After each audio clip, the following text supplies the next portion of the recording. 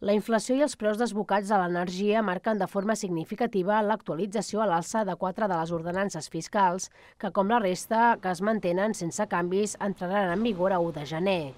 L'impost sobre béns immobles pujarà un 5%, el que preveu augmentar la recaptació en 142.000 euros i arribar gairebé als 3 milions.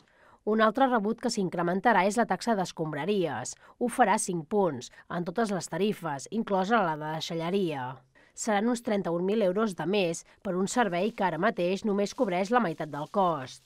Els últims dos tributs que s'enfilaran són l'IAE, que pujarà fins a un 5%, i l'impost de construccions, fins al màxim permès als 4 punts.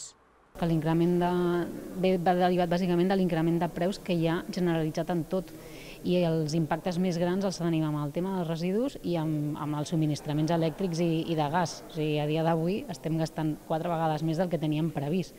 O sigui, és increïble, però ens està passant en tot. En el supermercat ja, ja veiem l'impacte. O sigui, és, una, és una pujada generalitzada de preus que ens afecta en tots els àmbits. L'equip de govern ha subratllat que la inflació està sobre el 9% i que els costos de l'Ajuntament encara estan per sobre.